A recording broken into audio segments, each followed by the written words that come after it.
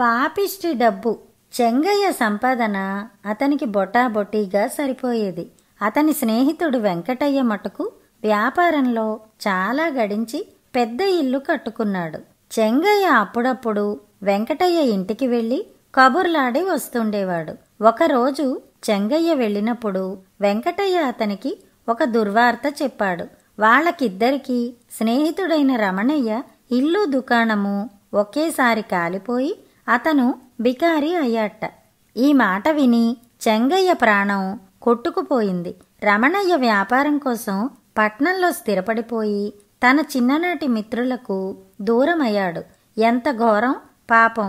రమణయ్యను చూసి వద్దాం పద అన్నాడు చెంగయ్య వెంకటయ్యతో.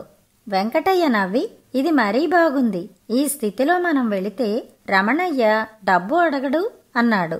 చెంగయ్య నిర్ఘాంతపోయి డబ్బు పాపిష్టిది స్నేహం పవిత్రమైనది. రెంటికి లంకె పెడతావే? అన్నాడు ఆవేశంగా. డబ్బు లేదు కనుక ఎన్ని కబుర్లైనా చెబుతావు. నేను రాను కావలిస్తే నువ్వు వెళ్ళు అని చెప్పేశాడు వెంకటయ్య.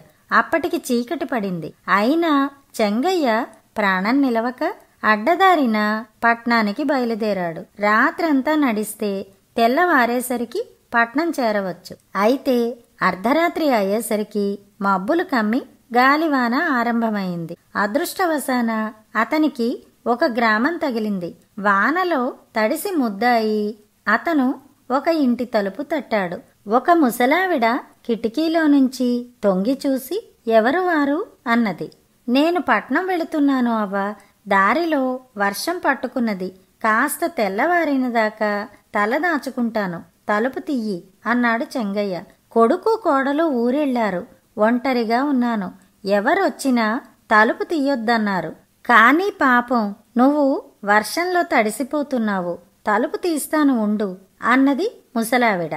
ఆమె తలుపు తీయకుండా లోపలికి వెళ్ళిపోవటం చూసి చెంగయ్య పెరటివైపు వెళ్ళి కిటికీలో నుంచి ముసలావిడ చేస్తున్న పని చూశాడు. ఆమె పెట్టెలో నుంచి బోలెడు డబ్బు తీసి ఒక సంచిలో వేసి పైన చింతపండు వేసి సంచిని మేకుకు తగిలించి పెట్టె మూసింది. ఆమె వచ్చి తలుపు తెరిచే లోపల చెంగయ్య ముందు వాకిలి వద్దకు వచ్చి నిలబడ్డాడు.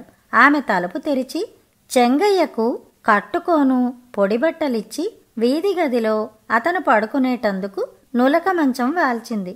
చెంకయ్య పడుకున్నాడు గాని నిద్రపోలేదు.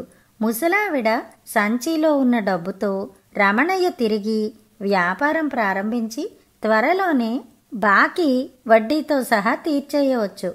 ముసలావిడ గురక పెట్టి నిద్రపోతున్నది. బయట వాన నిలిచిపోయింది. చెంగయ్య లేచి లోపలికి వెళ్ళి డబ్బు సంచి భుజాన తగిలించుకుని తిరిగి ప్రయాణమయ్యాడు. అతను బాగా తెల్లవారి రమణయ్య ఇల్లు చేరాడు. ఆ ఇల్లు తాలూకు బూడిద కుప్పలే అతనికి కనపడ్డాయి. చెంగయ్య కంట తడిపెట్టి రమణయ్యను ఓదార్చ యత్నించాడు. చెంగయ్య సంచిలో డబ్బు రమణయ్య ముందు పోసి దీనితో వ్యాపారం చేసి మళ్ళీ పైకిరా అన్నాడు. ఈ డబ్బు నీది కాదు. పరామర్శించటానికి రాని వెంకటయ్య పంపాడనుకోను. నిజం చెప్పు ఇది నీకు ఎక్కడిది? అని రమణయ్య అడిగాడు. చెంగయ్య జరిగినదంతా దాచకుండా రమణయ్యకు చెప్పి ఆరు నెలల్లో ముసలావిడికి రెట్టింపు డబ్బు తిరిగి ఇయ్యవచ్చు సందేహించకు అన్నాడు.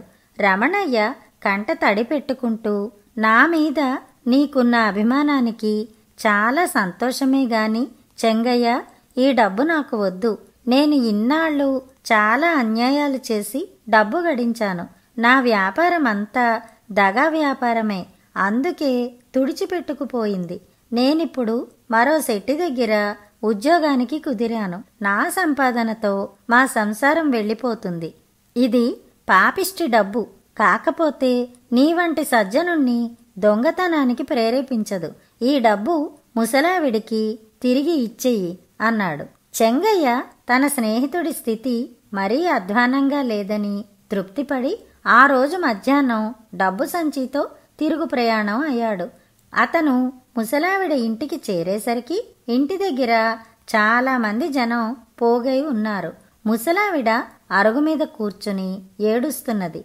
ఆవిడ కోడలు అన్ని అబద్ధాలు డబ్బు దాచేసుకుని ఎవడో ఎత్తుకుపోయాడంటున్నది. దొంగకు చింతపండు సంచిలో డబ్బు ఉంటుందని ఎలా తెలుస్తుంది? ఇక ఈవిడ ఇంట్లో ఒక్క క్షణం ఉండటానికి వీల్లేదు అని ఆవేశంగా అరుస్తున్నది. ముసలావిడ కొడుకు నిస్సహాయుడై నిలబడి ఉన్నాడు. ముసలావిడ దుస్థితి చూసి చెంగయ్య డబ్బు సంచి ఇచ్చి జరిగినది చెప్పాకనే వాళ్ళు ముసలావిడను లోపలికి రానిచ్చారు. చెంగయ్య ఇంటికి తిరిగిపోతూ డబ్బు పాపిష్టిదే అనుకున్నాడు. కథ కంచికి మనం ఇంటికి